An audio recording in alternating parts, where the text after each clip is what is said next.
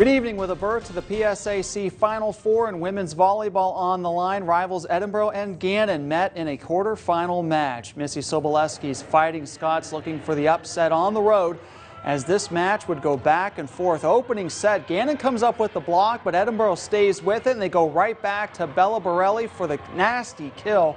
She finished with 15. Golden Knights come right back with a quick swing by Maggie Greenfield as she comes up with one of her 11 kills.